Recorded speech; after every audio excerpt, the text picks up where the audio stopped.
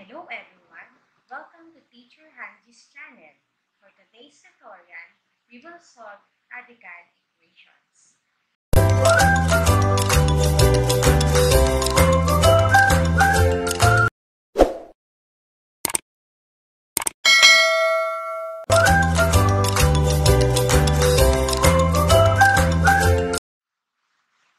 First, what is radical equation?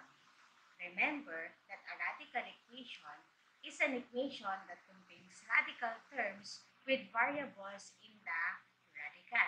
So let us have the following examples. I have square root of x is equal to 7. So we have here an equation in which in radicals, the radicand is equal to a variable. Next, we have cube root of x plus 2 is equal to 3. So again, we have variables in our radical symbol. That's why this one is an example of radical equation. Another example, square root of 2x minus 3 is equal to square root of x plus 5. Next, we have square root of 2a minus 5 plus 10 is equal to 0. Again, these two are equations in which equal sign is visible and the radicands contains a variables. Last example, I have fourth root of 2b minus 4 is equal to b minus 1. So these are all examples of radical equation. So in solving radical equation, we can use the property of equality in which if two numbers are equal, thus when raising both sides of an equation to an even power, then they are still equal. In symbol, we have if x is equal to y, then x raised to n is equal to y raised to n. So how to solve a radical equation? So to solve the radical equation, we must arrange the term of the equation so that one term with radical is by itself on one side of the equation. Second, we will square both sides of the radical equation in order for us to remove the radical sign.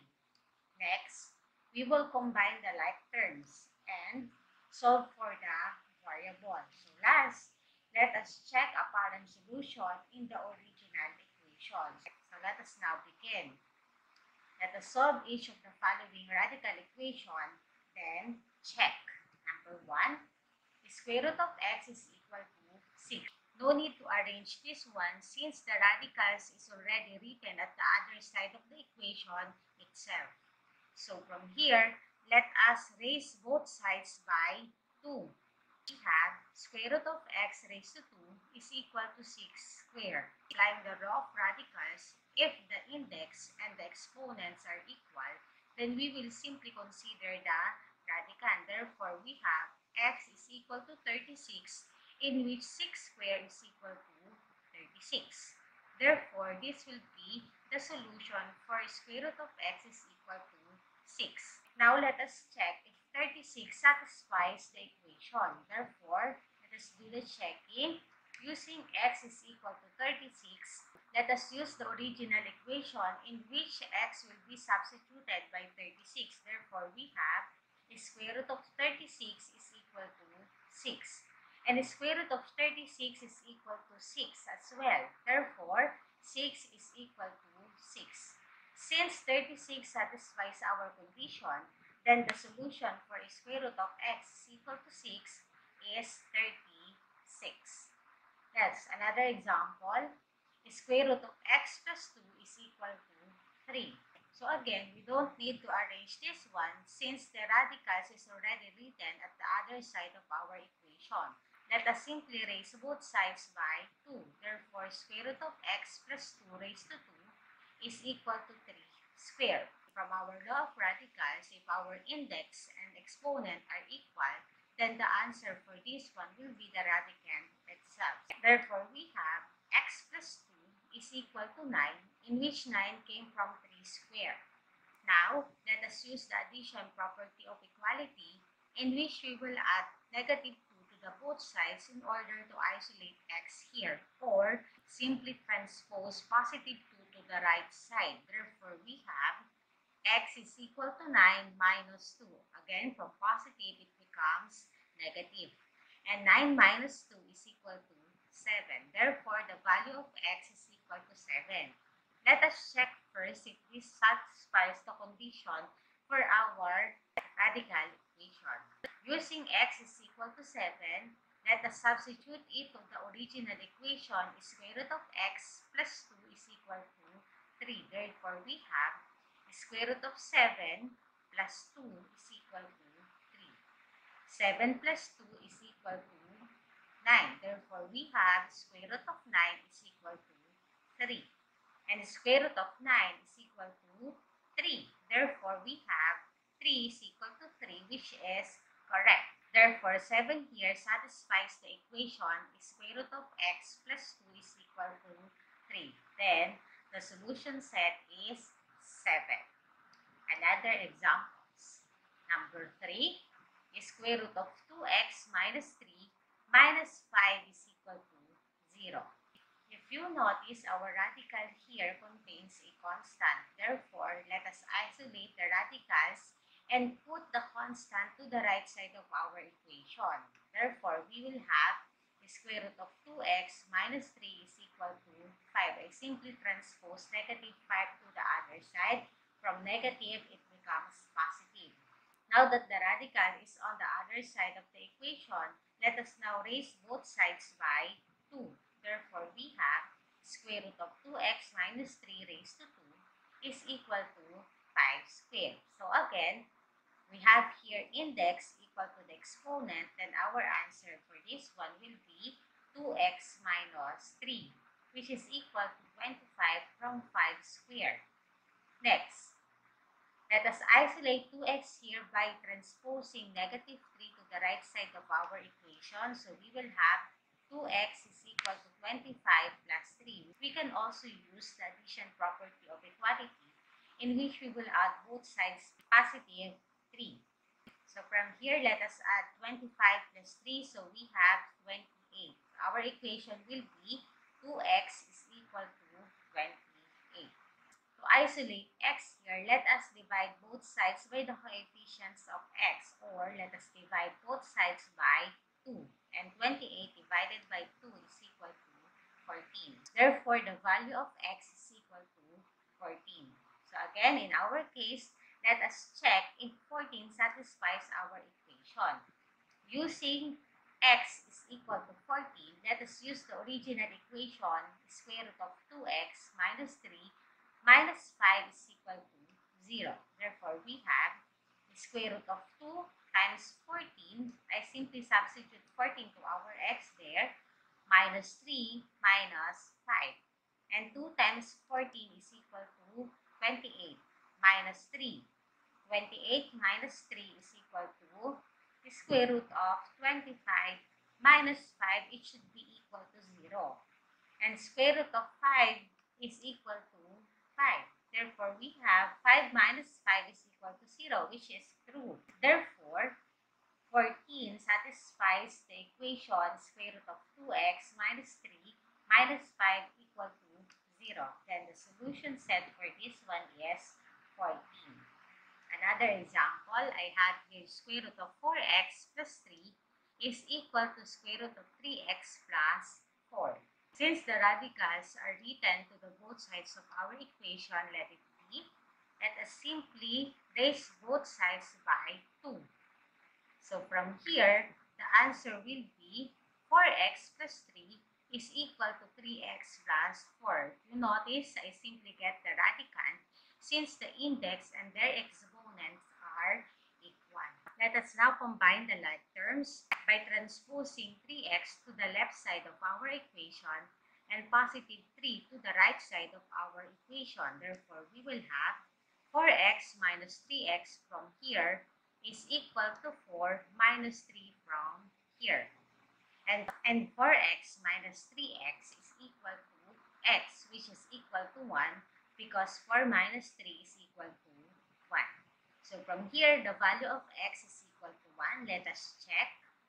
If x is equal to 1, using the original equation, square root of 4x plus 3, is equal to square root of 3x plus 4. Let us substitute 1 to our x's here. Therefore, we will have square root of 4 times 1 plus 3 is equal to 3 times 1 plus 4.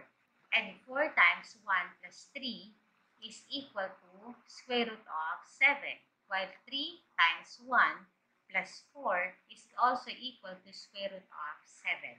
Since 1 satisfies our equation, then the solution set for square root of 4x plus 3 is equal to square root of 3x plus 4 is equal to 1. So that is how we solve a radical equation. However, the given property of equality is not always true for some cases. When solving a radical equation, it is also possible to have some extra solution that will not satisfy the original equation. And such solution is called an extraneous root. Therefore, it is a must to check the answer to the original equation. Let us have this example. The square root of x is equal to x minus 6.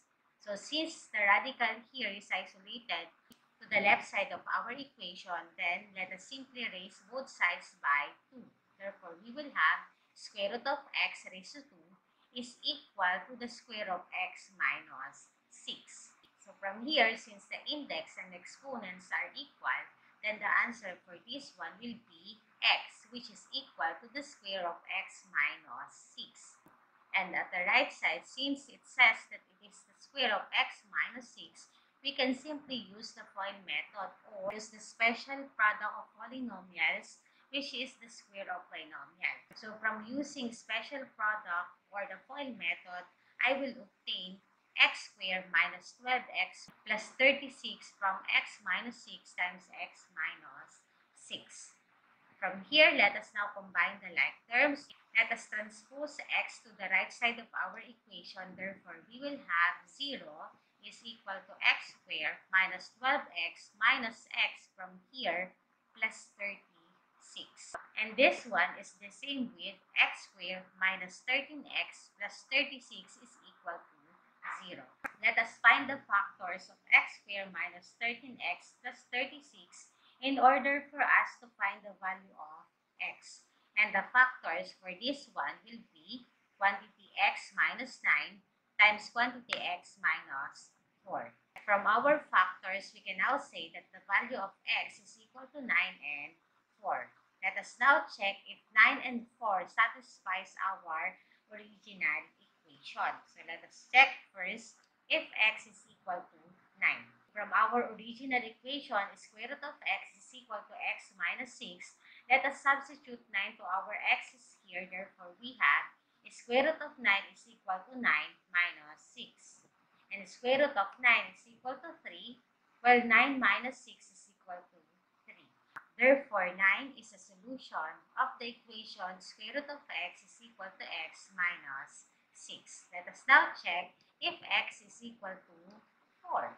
From the original equation, let us substitute 4 to the x's there. Therefore, we have square root of 4 is equal to 4 minus 6 and square root of 4 is equal to 2, while 4 minus 6 is equal to negative 2. So from here, they are not equal, therefore it is called an extraneous rule.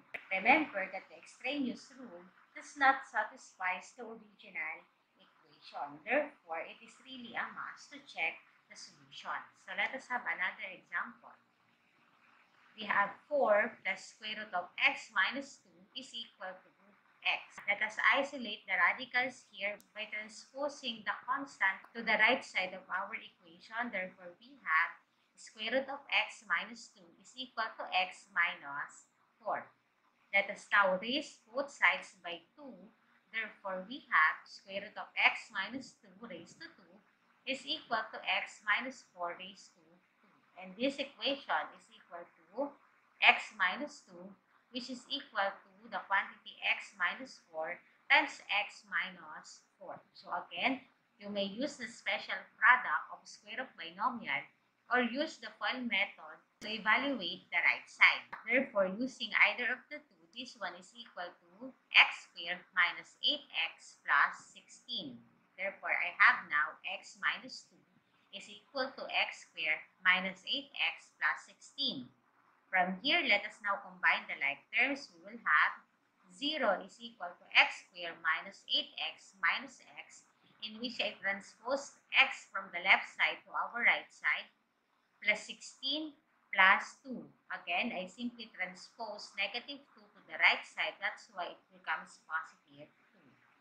Let us add and subtract. We have x squared minus 9x from here plus 18 from here. So the same with what we did in our first example, we will simply find the factors of this expression and that will be equal to x minus 6 times x minus 3. Now, the value of our x is equal to 6 and 3. Let us now check if 6 and 3 satisfies the original equation. Let's start with if x is equal to 6. Using 4 plus square root of x minus 2 is equal to x, let us substitute 6 here to the x's here. Therefore, we have 4 plus square root of 6 minus 2 is equal to 6. And 6 minus 2 is equal to 4. Therefore, we have 4 plus square root of 4 is equal to 6. Square root of 4 is equal to 2. Therefore, 4 plus 2 is equal to 6, which is also equal to 6. Then, 6 here is the solution of our original equation. Let us now check if x is equal to 3. Again, using the original equation, let us substitute 3 to the x's there. So, we have 4 plus square root of 3 minus 2 is equal to 3. And 3 minus 2 is equal to 1. Therefore, we have 4 plus square root of 1 is equal to 3. And square root of 1 is equal to 1. Therefore, 4 plus 1 is equal to 5, which is not equal to 3. Therefore, the solution 3 is an extraneous root since it does not satisfy our original equation. So that is how we solve radical equations. So again, we need to arrange the terms of the equation so that one term with the radical is by itself to one side of the equation. Square the both sides combine the like terms, solve for the variable, and check apparent solutions in the original equations. Again, if one solution does not satisfy the original equation, then it is called an extraneous root. So that's it for our video. Thank you for watching. See you again in my next video. Bye!